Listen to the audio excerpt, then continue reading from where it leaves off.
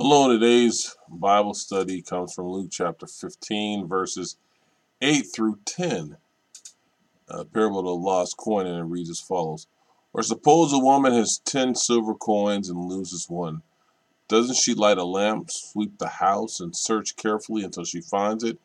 And when she finds it, she calls her friends and neighbors together and says, Rejoice with me. I have found my lost coin. In the same way, I tell you, there is rejoicing in the presence of the angel of God over one sinner who repents. Now, just like the parable of the lost sheep that we read, this is another parable, and this one talks of loss and finding. And remember that in the other parable, in regards to the lost sheep, there was no safety net for the lost sheep. It was not safe, it was lost, and it didn't become safe until it was found by the shepherd, and it didn't get elevated until it was lifted up.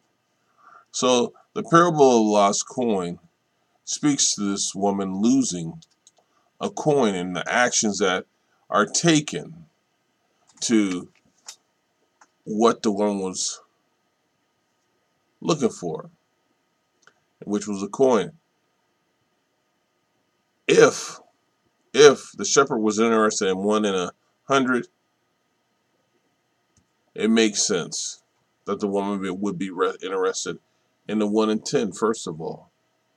And the amount doesn't matter, it just truly tells you that one is missing. Something is not there.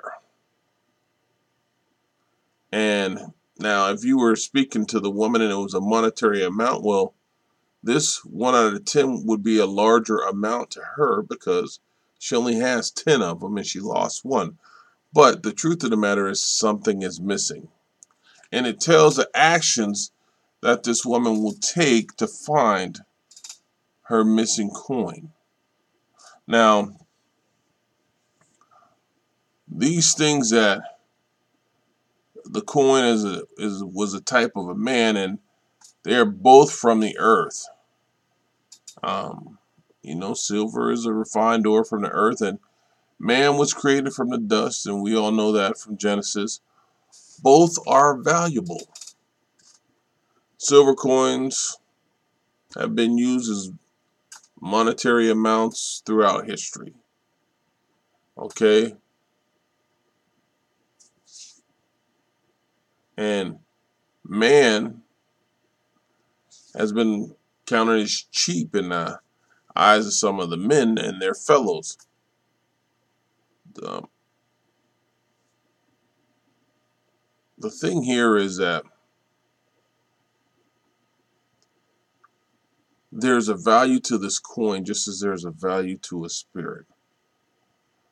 And it needs to be found and put with the right being. There's no value in following Satan. There is no value in going his way.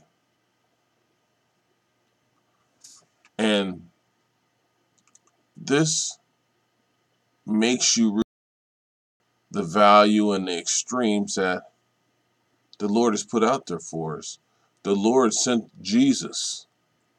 Jesus was sweeping. Did my camera go off? There we go. I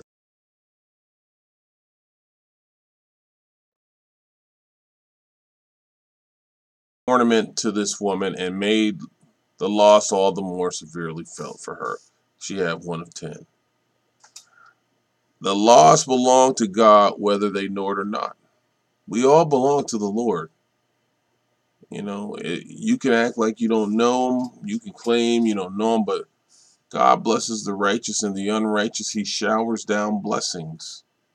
So everybody belongs to him if you know him or you don't.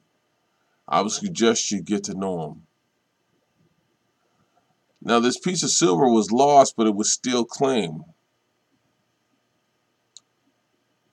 And the woman called this this lost coin, and she finally she calls her friends and neighbors. But when she speaks to this coin, she says, "I have found my lost coin. I have found what was mine, and it was my piece which was lost. And when she lost it,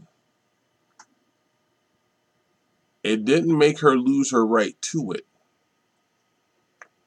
In other words, Lord or you don't know the Lord, it does not stop him from having a right to you. You are his. As I said, whether you want to believe it or not. And you don't become somebody else's coin when it slipped out of her hand. It was still her coin. If she went to pick it up or if she found it, it was truly her coin. When you are not with God, don't think that you just automatically belong to Satan. You are still God. You may not do the Lord's way, but you will confess. You will bow before the Lord. You are His. Now, the woman in the story, first first thing she did was she brought light to find this coin. This light, Jesus, came, then swept and cleared the house. But the whole time she was looking for this coin. And she was doing it very carefully, checking for everything. And she kept looking until she found the coin. This is how the church, this is how the people, we are the church. This is how we have to search for lost souls. And we got to get off our butts and go search for lost souls. We need to be led by the Holy Spirit. We need the light to shine out there, our lights from the Lord to shine out there so the lost souls can see us, so we can see them. And the light that we put out there is God's word. And the Lord didn't say walk up to that lost soul and no. It's go out there and love. And clean our place. Don't think because we walk with the Lord or we're walking with the Lord that we don't have a shortcoming, that we don't still need to repent, that we don't still need to recognize that God is number one in our servitude to Him. So that when we go find our lost brothers and sisters, they're not afraid to come to the Lord because we're doing it in love, and service to the Lord. And then we have to search carefully for the lost. One of the first things to know is the worth of a single soul. And if the shepherd went to find the one sheep,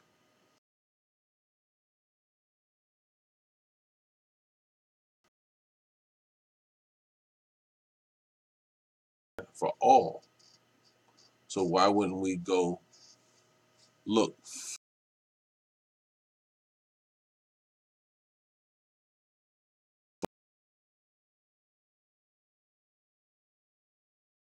be happy as I said before that's what makes these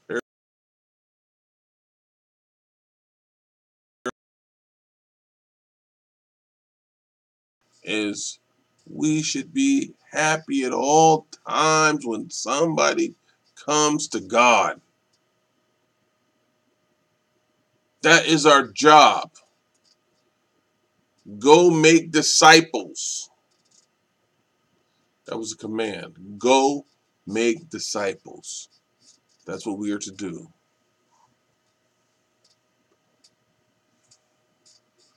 Oh my goodness. And don't scare them away. You if you think about the the actual first parable from the, the lost sheep, the, the so-called Pharisees and the leaders of the law, they muttered. They they made it unattractive for a sinner to want to come to them. But if you notice, Jesus, he sat down with them and gave them the word, and they gathered around, tax collectors and sinners. So we have to do all our actions out of love, period. We can't attract them with anger. We can't attract them with hatred. We can't attract them with meanness. We can't attract them with non compassion. We have to have the fruit of the Spirit. We have to do things that Christ would do. and he would show love at all times. And if you don't think God rejoices, read this passage again because this passage tells you tells you that he does rejoice. And remember, we are the bridegroom.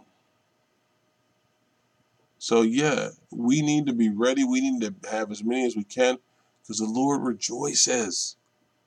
God rejoices over us.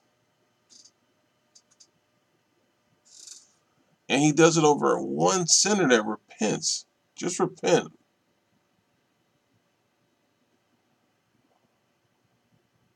And if you notice, Jesus added this to both of the parables and to both the religious leaders and the sinners who heard him and knew that repentance is important to lost people.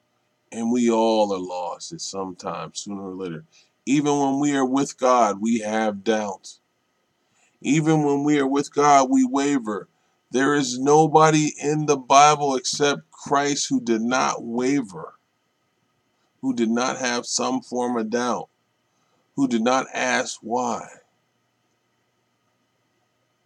Know that repentance was the first thing that John the Baptist came out and spoke of. It was the first sermon that Jesus preached. We need to repent. Amen.